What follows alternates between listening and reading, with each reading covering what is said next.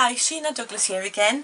This time looking at the essential set of the gorgeous AquaTints.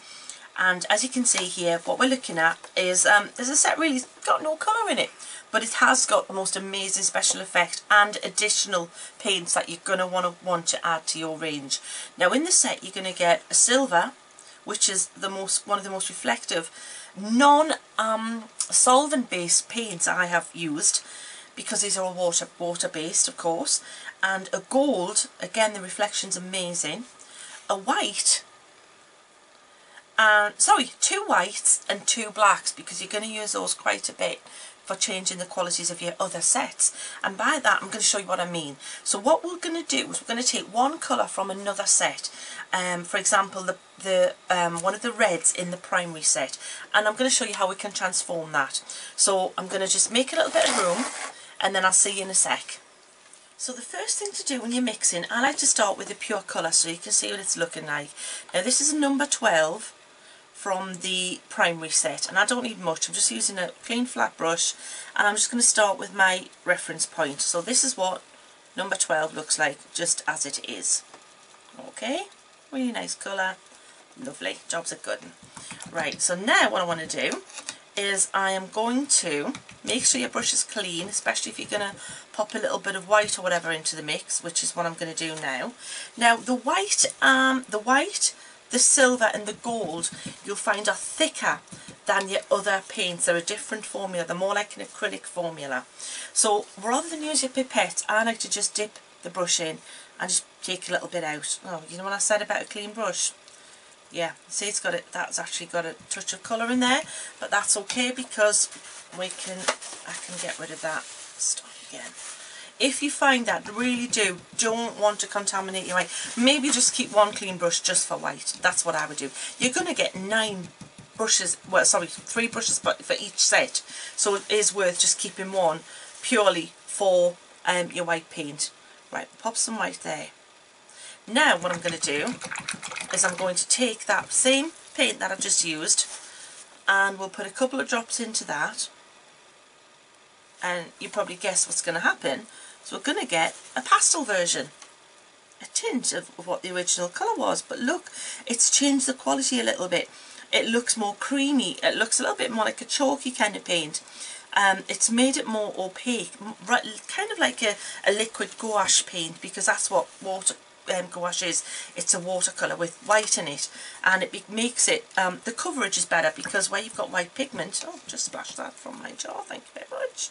Um, where you've got white it will um, it's an opaque pigment so it's gonna not be as translucent as your paints without the white. So same thing again. Let's do another one of those. Let's this time see what the black does.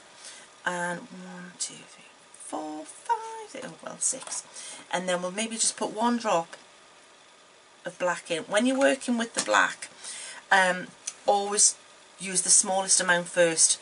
Right, black. Whoa, a nice colour. So what you're going to do, this is going to create a shade and it's going to make it more of a distressed colour.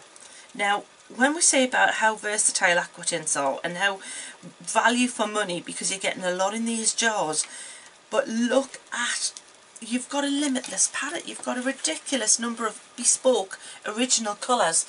I would use any one of these three colours any day of the week. From that to that with a touch of black, now you've got distressed kind of, um, you know, muted kind of palette and shades and colours. So you could stamp with that colour, blend it out, look fantastic. You could apply it with your cut and dry foam with a touch of glycerin to your background. If all of these things are thinking, what, hello, look out for the other AquaTints videos. Um, so let's do some more. Let's wipe that up.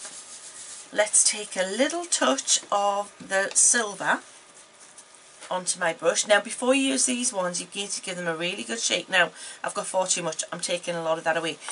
Can Hopefully can get that on the camera hopefully. Can you see how small that amount is? Really really be really kind of sparing with these paints, the metallics especially, because they're a thicker formula. You'll find that you need the smallest amount for that mica to go a long way. Four, five, six. I'm even diluting it with six of the paint of the paint there because there's still loads and loads. Woo! Hold the phone. We have our own gorgeous mica paint here. But look at how intense that, that mica is. In fact, you know what I'm going to do? I'm going to do this. Then I'm going to add water to show you how much mica's in there. I'm watching it down. Still watching it down. Still watching it down. All that still got all the bling in it. When we when we wet when we um this is dry, we'll get the camera on it. You'll see this has still got tons of bling in it. Use it sparingly when you want to create a mica paint. You'll be amazed at how little you need. We're going to do the same with the gold. Let's take a touch of that. Right, again, now that's still, still probably too much. And then do the same thing. One, two, three, five. I'm going to add six again because really that's more than I need for this little square I'm doing. But I've put two, I've put loads of gold out. Ooh, I like this one. Thinking Christmas. Oh, Oh, I might have to name this a Sheena name.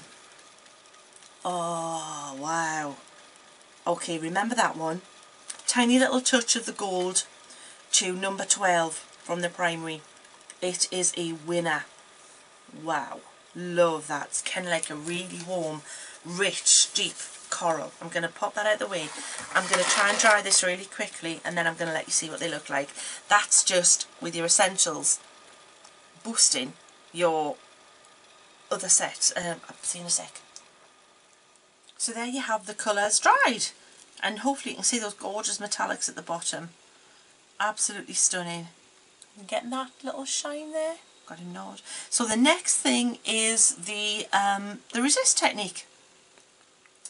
So what I've done is I have stamped an image here using the gold um, paint from the Essential set and I've dried it. Now it could be dried a little bit more but what, what you're going to be able to do is a, a sort of resist. So it's not going to be um, you know really robust but you're going to be able to go over it um, quite a bit without it you know um, picking up the gold. So if you see I'm just going to go over that same colour we've been using, go over the area and then hopefully you should see we will have a really nice gold still showing through there. See where it's resisted the, the paint. Yeah, it's kind of look like a, a gold batiki type thing. So that's something else to play with. Um, so keep looking out for more videos. I uh, thank you. That has been um, Essentials. And we'll see you for another another tutorial using the amazing, gorgeous new AquaTints.